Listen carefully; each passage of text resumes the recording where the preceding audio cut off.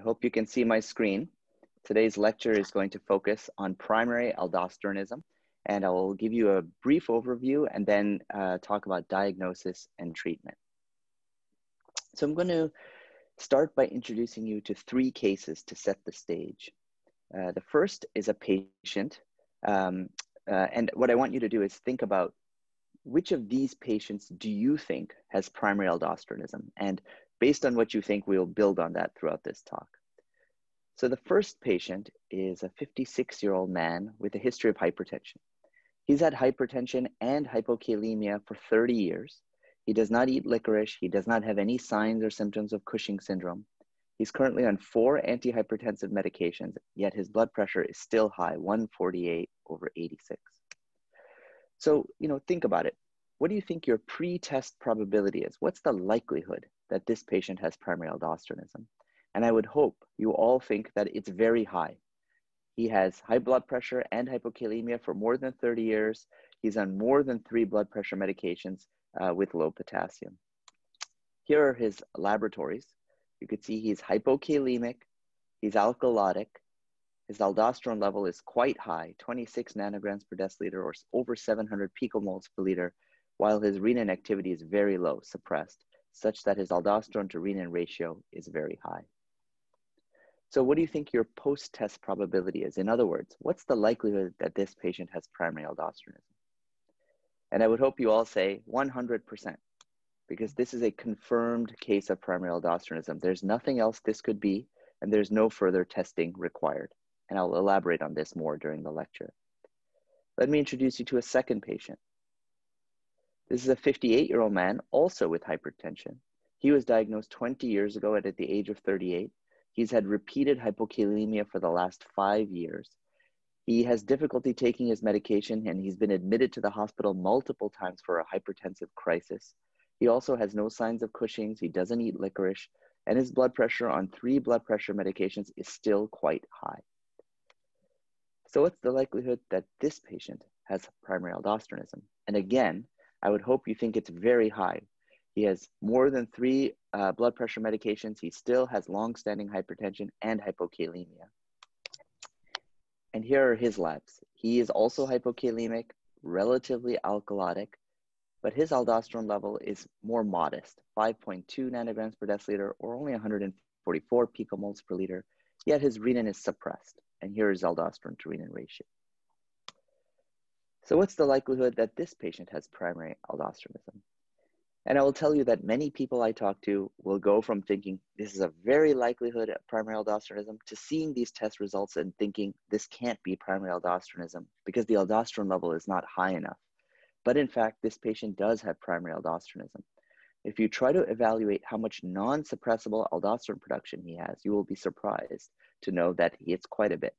He underwent an oral sodium suppression test where he consumed a high sodium diet for several days.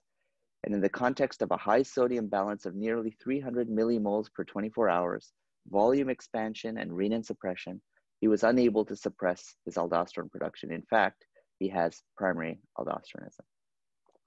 And then finally, I'll introduce to you a third case. This is a 60 year old man who typically had normal blood pressure.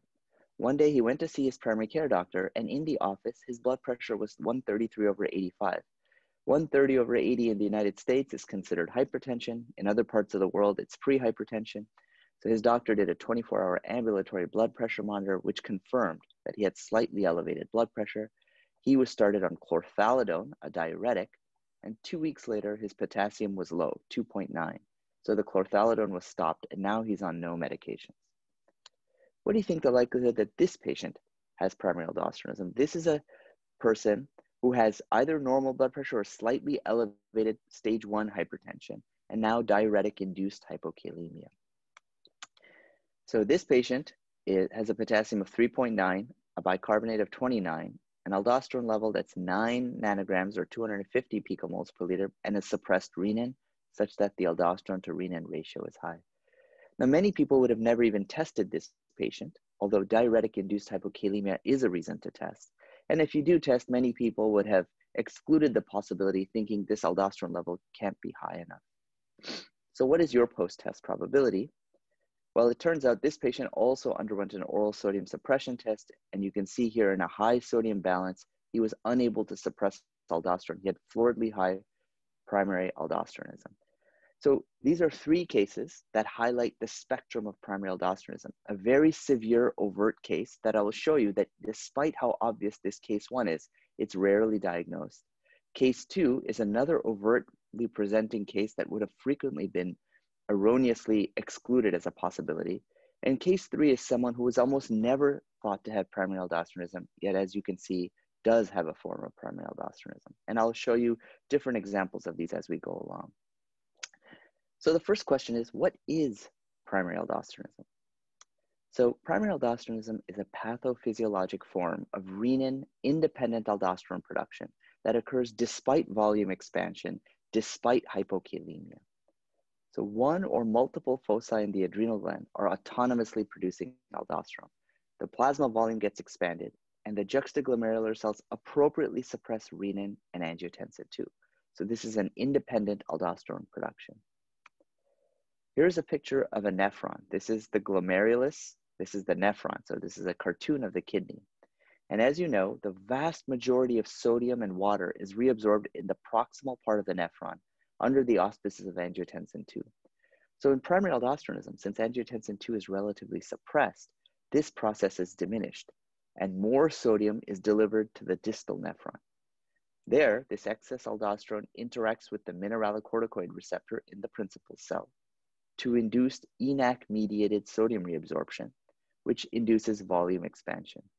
And in this part of the nephron, for every one sodium you reabsorb, you must excrete a cation. In this case, it's either potassium or a proton. so this sets up a vicious cycle that ultimately leads to cardiovascular disease. You increase distal sodium delivery, which results in more distal sodium reabsorption, volume expansion. This increases blood pressure. It increases glomerular filtration, which further increases distal sodium delivery, distal sodium reabsorption, volume expansion, and on and on, while increasing potassium and hydrogen ion excretion in the urine. So what is primary aldosteronism? It is an inappropriate, relatively non-suppressible, renin-independent aldosterone production.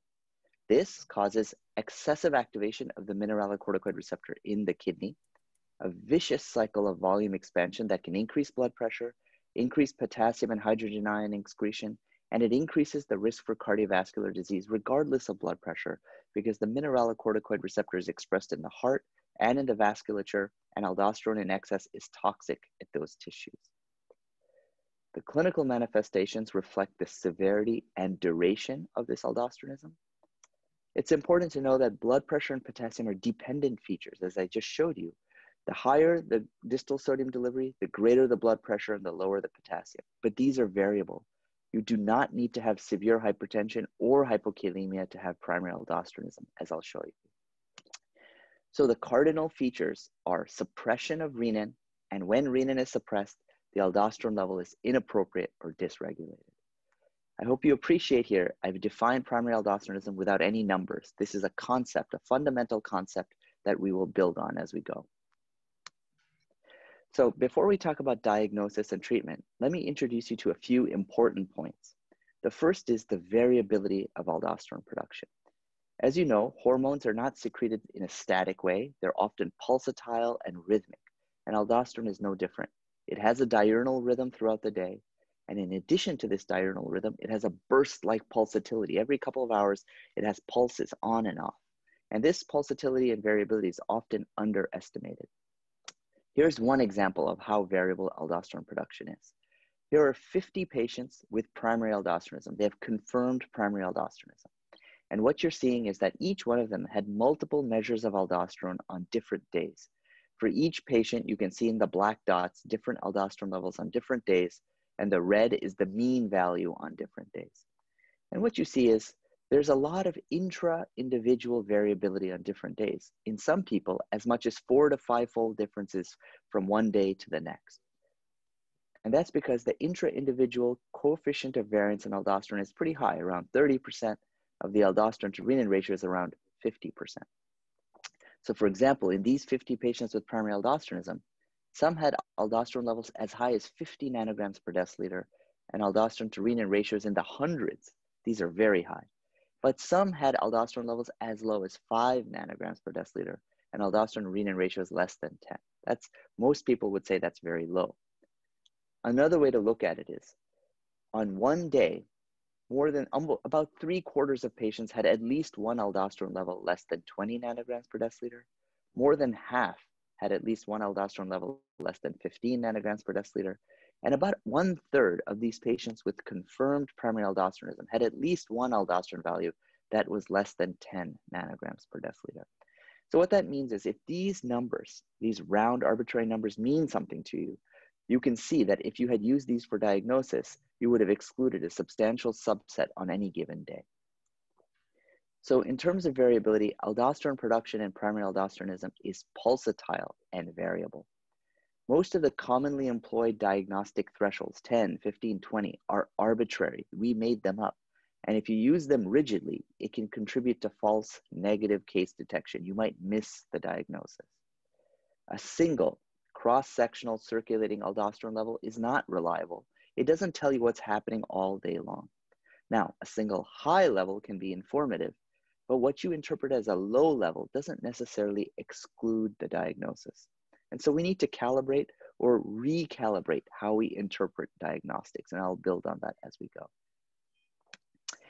Another important point that builds on this is how common is primary aldosteronism? What is the prevalence of this disorder? So this is a tricky question because we have no international consensus or definition of primary aldosteronism. It is defined differentially throughout the world based on different concepts. so for example, you might define primary aldosteronism based on the aldosterone to renin ratio, but then you have to apply arbitrary thresholds to say it's positive or negative. For example, 30, 25, 20, etc. You might want to see a high aldosterone level to be convinced it's hyperaldosteronism, uh, hyperaldosteronism. But then you employ arbitrary thresholds to define high and low. You might say 20, 15, 10, as I just showed you. Beyond these screening tests, you might use various confirmatory tests, methods to suppress aldosterone. The problem is there are multiple different protocols throughout the world, and each has its own arbitrary thresholds. So you can see the problem here. If you use more liberal or permissive diagnostic thresholds, you will catch more primary aldosteronism. You will report a higher prevalence, but it may come at the expense of more false positives. On the other hand, if you're philosophically more conservative, you want to use more strict or higher thresholds, then you will detect fewer cases. You will report a lower prevalence, but it may come at the expense of more false negatives. You may miss more mild or moderate diagnosis. So another way of thinking about this is let's forget arbitrary thresholds. Let's forget the conventional diagnostic numbers we have created over time. Let's ask ourselves, how common is inappropriate, non-suppressible, renin-independent aldosterone production, which as I described, is the fundamental concept that defines and underlies what primary aldosteronism is. And we can do that by doing physiologic aldosterone suppression tests. Let's try to turn aldosterone off and then quantify the spectrum of primary aldosteronism, how much non-suppressible aldosteronism is, agnostic of conventional thresholds, regardless of the numbers. And we did that in a recent study, although there are other studies like this, and I'm gonna describe to you how we did that. So in this study, we sampled people from across the United States and every participant underwent an oral sodium suppression test. In other words, every participant in this study consumed a high sodium diet for several days, such that they were volume expanded, their renin and angiotensin 2 were suppressed, and when your volume expanded and renin is suppressed, aldosterone should be maximally suppressed. And now we can quantify how much aldosterone fails to suppress. And we did this across the entire spectrum of blood pressure. We had participants who were normotensive, hypertensive, all the way through resistant hypertension. So what did we find? Here are the main findings. And what you see on the y-axis is the 24-hour urinary aldosterone excretion rate, how much aldosterone is produced in the day when your volume expanded, sodium loaded, and renin and angiotensin 2 are maximally suppressed. And this is what you see. Among normotensive patients, you can see that many of them had a suppressed aldosterone level, and some suppressed less, some suppressed less, some failed to suppress, and some completely could not suppress. What you're looking at is a severity spectrum of non-suppressible renin independent aldosterone production, which conceptually is primary aldosteronism. These are different shades of primary aldosteronism.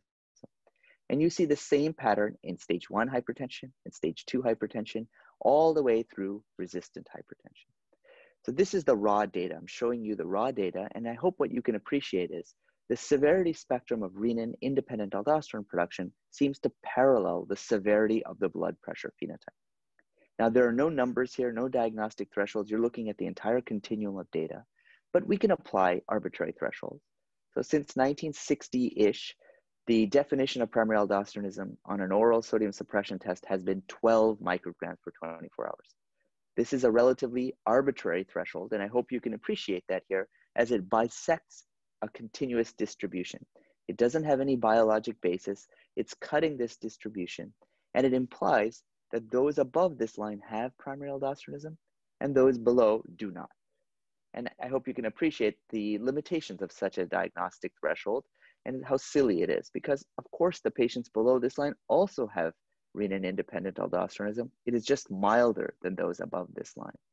So diagnostic thresholds that are binary fail to see the entire continuum. But if you use them or you use any arbitrary threshold, no matter which one you use, the prevalence will be high. So for example, with 12 micrograms, the crude prevalence of overt primary aldosteronism is 9% in normotensive individuals, 15 to 20% in hypertension, and up to a quarter of patients with resistant hypertension. If you ask if one's renin had already been suppressed before entering this study, what would the prevalence be? Of course, that prevalence would be enriched. It would be a little bit higher in every category, and up to 50% of patients with resistant hypertension who have a suppressed renin have overt primary aldosteronism, very high numbers. Now, had you used the aldosterone to renin ratio to screen for these individuals, you would have only caught a small subset. For example, an aldosterone renin ratio of 30 has a sensitivity of around 26% and a negative predictive value of only 80%. It's neither great for detecting cases nor for excluding the possibility of the diagnosis. And the main reason is that even in resistant hypertension, the number of indi individuals with an aldosterone level less than 10 nanograms per deciliter on the day of testing was around 25%. And this harkens back to a concept I introduced to you early, which is aldosterone production in primary aldosteronism is variable. It's pulsatile, it can go high and low during uh, periods of minutes to hours throughout the day uh, aldosterone level less than 10 doesn't mean that you don't have primary aldosteronism. It doesn't, it shouldn't be interpreted as being low. It may still be inappropriate relative to volume status, renin, and sodium status. So another way to illustrate how common primary aldosteronism is, is from the Pathway 2 study. Now this was a study that asked, what's the best fourth drug to treat resistant hypertension? And in this study, investigators enrolled patients with resistant hypertension and a hypertension expert excluded the possibility of secondary hypertension, such as primary aldosteronism. They measured an aldosterone, a renin, calculated an aldosterone renin ratio, and said, You do not have primary aldosteronism.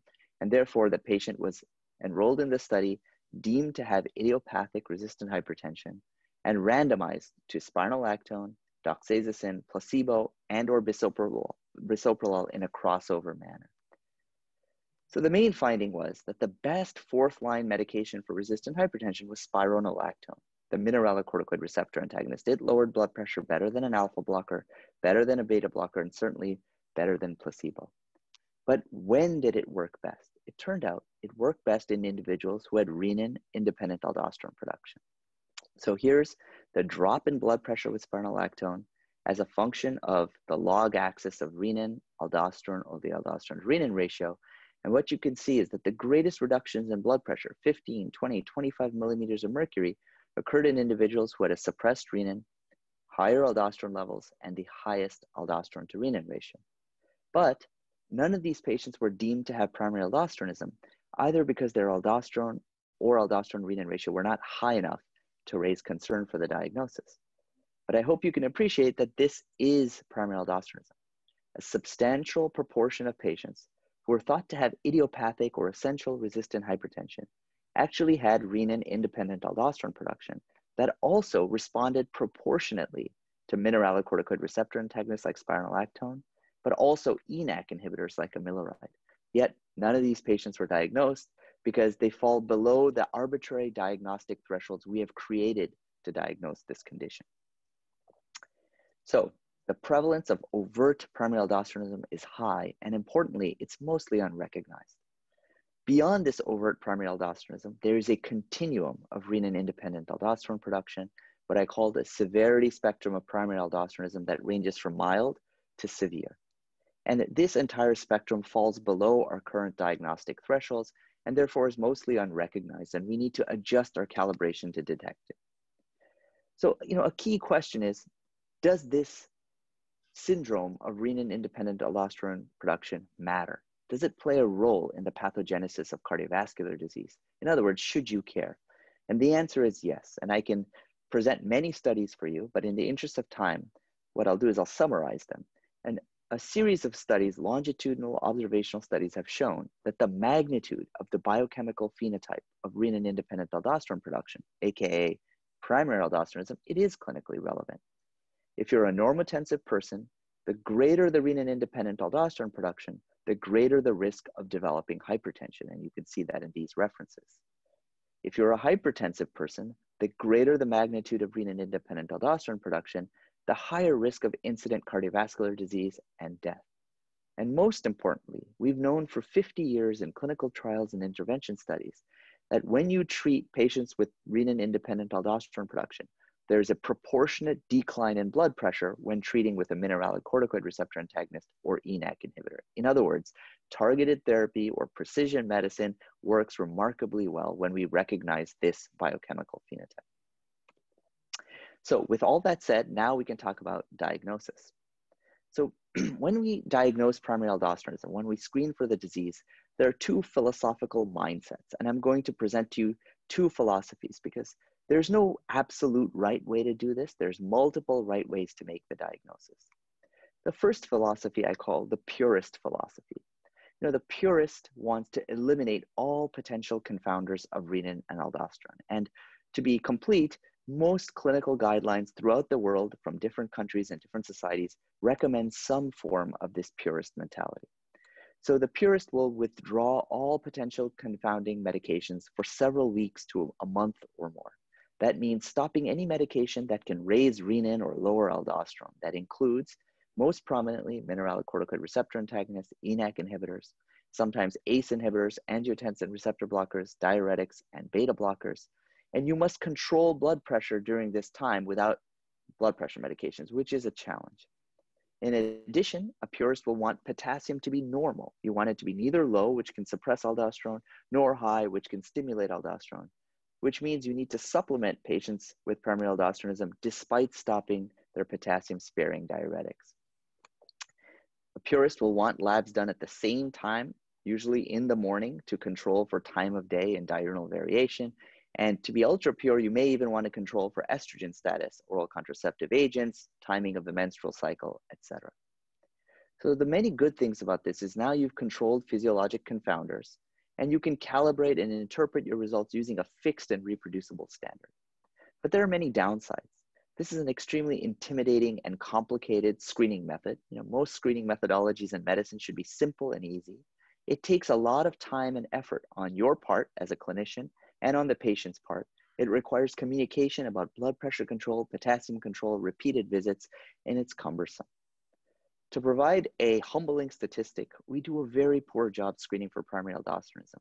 In the United States, less than 3% of patients with resistant hypertension and hypokalemia are ever screened. In Europe, the numbers are very similar also.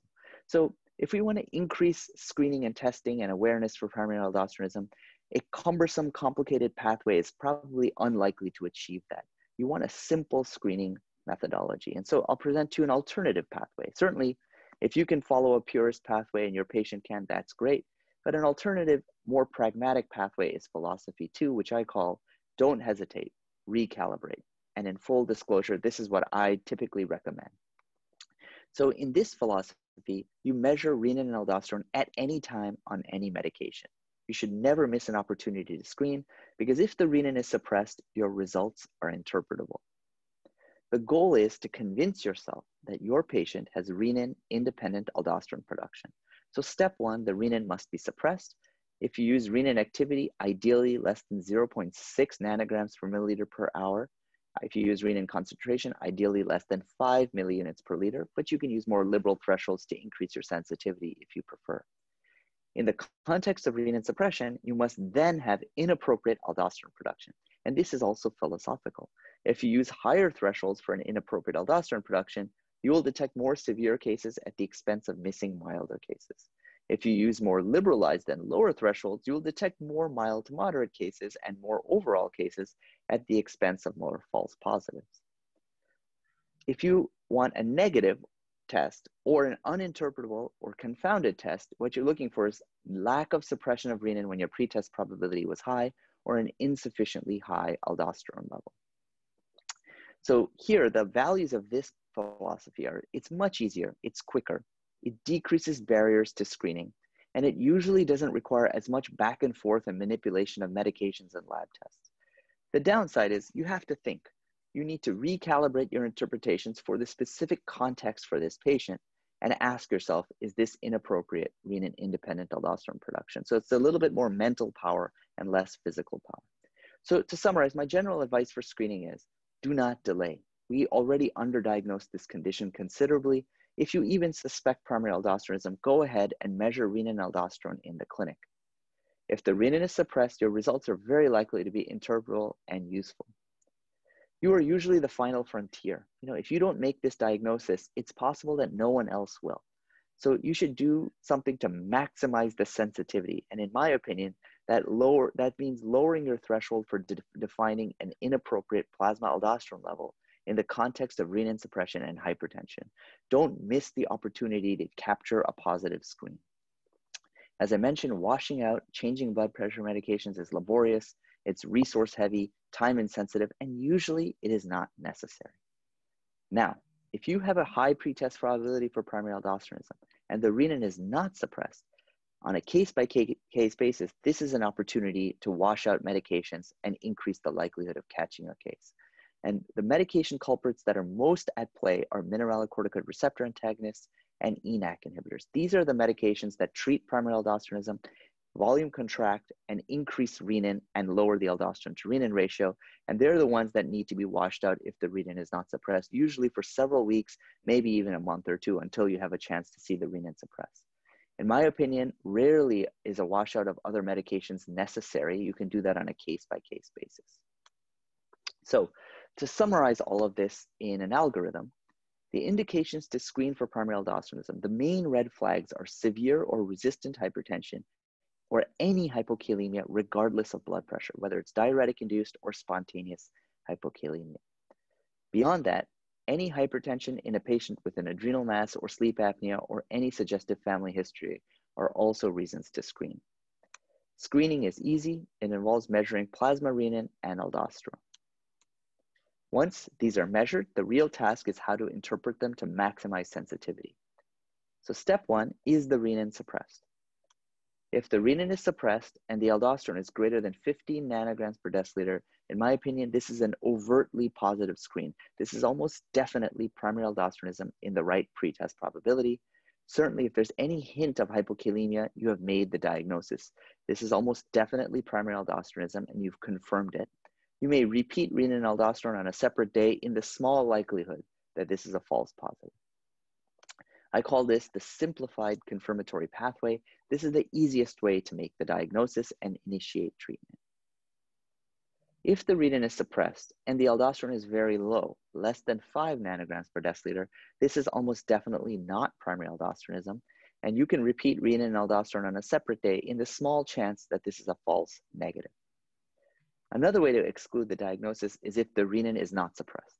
If the renin is not suppressed, this cannot be primary aldosteronism, with the caveat being if the patient is on a medication known to increase renin, such as a mineralocorticoid receptor antagonist or ENaC inhibitor, this might be a false negative, and here you should consider repeat testing after stopping the culprit medications and doing a washout.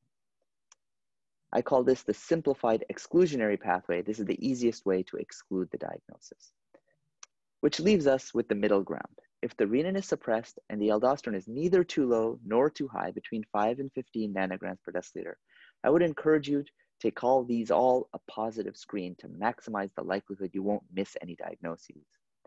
Here, extra work is needed. I call this the enhanced diagnostic pathway. If your patient is not willing to go, willing to undergo further testing or not able to, treat these patients empirically with an MR antagonist. They're very likely to respond because they have low renin hypertension and because they very likely have a mild or severe form of primary aldosteronism. However, if they are willing to undergo more testing, you can do any one of a number of aldosterone suppression tests, oral salt loading, IV saline loading, fludrocortisone challenge, captopril challenge. And if there's marked suppression of aldosteronism, you've excluded primary aldosteronism.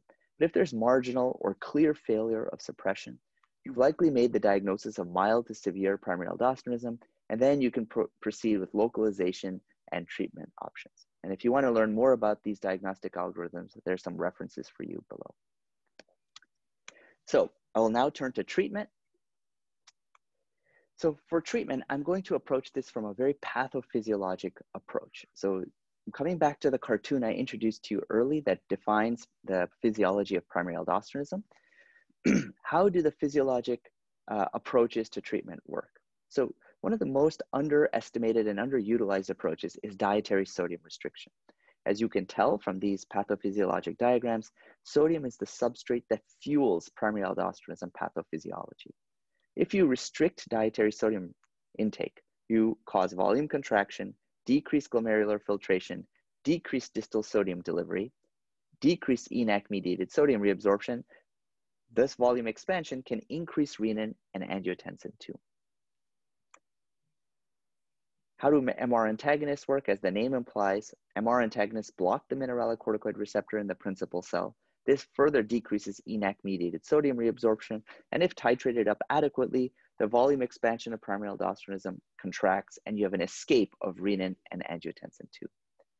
And finally, surgical adrenalectomy, whether it's a curative adrenalectomy to completely abolish or remove the source of aldosterone production, or a non-curative unilateral adrenalectomy in bilateral disease to attenuate the amount of aldosterone production, you decrease MR activation, which decreases ENaC-mediated sodium reabsorption and releases renin from suppression and increases angiotensin II. So I sound repetitive because all the recommended therapies for primary aldosteronism do the same thing ultimately. They all decrease ENaC-mediated sodium reabsorption to induce volume contraction. This increase, this decreases volume improves blood pressure control. So in some cases, it may cure blood pressure and it increases or normalizes renin. It takes renin from a suppressed to unsuppressed state. Simultaneously, you'll get a decrease in potassium and hydrogen ion excretion in the urine, which can result in an increase or normalization of serum potassium. So how to put this all together? Once you've confirmed the diagnosis of primary aldosteronism, the treatment of choice if you have unilateral disease, ideally confirmed by adrenal venous sampling, is a curative unilateral adrenalectomy, usually performed through a laparoscopic procedure. this is the most effective way to reduce the aldosterone production and cure it, to improve blood pressure control, to cure hypokalemia, and to improve long-term cardiovascular outcomes. And you can evaluate for all of these biochemically by looking for a rise in renin, a drop in the aldosterone renin ratio, and improvements in blood pressure and potassium control. You know, if the disease is bilateral, usually confirmed by adrenal venous sampling, or the patient is unwilling or unable to undergo unilateral adrenalectomy for, for unilateral disease, the treatment of choice is medical. Now, you should always reiterate medical therapy is a combination of dietary sodium restriction and mineralocorticoid receptor antagonist. As I just showed you, the combination of these two is the most likely to be effective for your patient. What is optimal medical therapy? You should always follow your patients to see that you have normalization of blood pressure, normalization of serum potassium, and ideally an increase in renin. Seeing these is really reassuring that you've optimized medical therapy and up-titrated the mineralocorticoid receptor antagonist enough or restricted dietary sodium enough to see sufficient volume contraction to neutralize these pathophysiologic effects of aldosterone production. Now, often we're not able to completely optimize medical therapy. Or if you treat a patient long enough over many years or decades, you run into problems. So, what are some signs of suboptimal medical therapy? Well, despite maximal uptitration of mineralocorticoid receptor antagonists or maximum recommendation for dietary sodium restriction, the patient still has elevated blood pressure, the patient still has hypokalemia or suppressed renin. Often, one of the most common problems is the patient over time develops chronic kidney disease. This results in recurrent hyperkalemia that limits how aggressive you can be with the mineralocorticoid receptor antagonist, and or your patient develops side effects like gynecomastia or other intolerance. So what do you do when these uh, tough situations arise? Well, you can use other medications. You can use amiloride. Amiloride is an ENaC inhibitor, and as the name implies, it reduces ENaC-mediated sodium re reabsorption, and it is a very effective add-on agent on top of mineralocorticoid receptor antagonists for primary aldosteronism. The downside is if your patient has chronic kidney disease, amiloride will worsen hyperkalemia risks. You can use potassium binders like patiromer or Lokelma, uh, but again, those are very expensive and difficult to get. You can use other antihypertensive medications to lower blood pressure with fourth, fifth, sixth line agents. But at some point, you run into a problem. You've now prescribed dozens of medications for your patient, and the additional and um, additive effects are diminishing. So you can consider something more aggressive on a case by case basis, which is a non curative adrenalectomy to attenuate the severity of disease. Now, as this name implies, on a case by case basis, you can do a surgery to remove one side, usually the more dominant side uh, pointed out by adrenal venous sampling or, and or imaging, not to cure the disease, but to attenuate or reduce the amount of excess aldosterone in hopes that you will um, provide enduring clinical benefits. So this is particularly useful if your patient has asymmetric disease in terms of morphological imaging features or lateralization on adrenal venous sampling. If your patient already has a large burden of cardiovascular or kidney disease, meaning they're at high risk for more cardiovascular events. If they're very young or already take many medications, meaning this is an unsustainable approach for many years. Here, a non-curative adrenalectomy might make it much easier to uh, continue on with medical therapy. And several longitudinal studies and observational studies have shown that even a non-curative adrenalectomy results in durable reductions in blood pressure, improvements in potassium, and rises in renin. So to summarize today's lecture, primary aldosteronism is a common syndrome. It is very underdiagnosed and it manifests across a broad severity spectrum from mild to severe. And this is important because primary aldosteronism is likely a major contributor to what we currently call idiopathic hypertension and to cardiovascular disease. We need to detect more primary aldosteronism. One approach is to screen much more, much more frequently, and then use a pragmatic approach to identify individuals who have a biochemical phenotype of renin independent aldosterone production that defines primary aldosteronism using thresholds that maximize sensitivity and improve case detection so that you can uh, start targeted therapy. In terms of treatment, unilateral adrenalectomy, either to cure the disease or to attenuate its severity, or a pathophysiology based approach to medical therapy can improve and optimize blood pressure and potassium control and reduce the risk for incident cardiovascular events. So I will stop there and thank you for your time and attention, and I'm happy to take questions.